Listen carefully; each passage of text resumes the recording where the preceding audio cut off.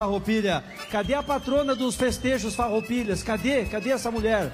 Essa aí. Não podia tá faltar nessa claro. mulher. Para nossa alegria, para nossa honra, estamos recebendo aqui a patrona dos festejos Farroupilhas no estado.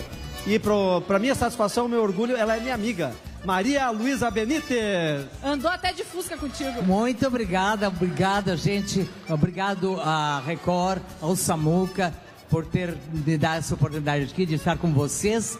E quero dizer para vocês que eu estou muito feliz em ter sido escolhida a patrona dos festejos do Grande Sul. Sou a quinta mulher escolhida. Nós temos voz. E o Parque da Harmonia, ninguém nos tira. É nosso. Mulherada tem voz ou não tem? Tem, tem, tem, tem. A Maria Luísa, que é comunicadora, minha colega lá na Rádio Guaíba, quantos anos, né, Maria Luísa, né? Quantos anos trabalha lá, Maria Luísa? Desde 1977. Ó, desde 1977, gente. Comunicadora lá na Rádio Guaíba, patrona dos festejos Farroupilhas e com uma voz maravilhosa, canta uma barbaridade essa mulher, gente.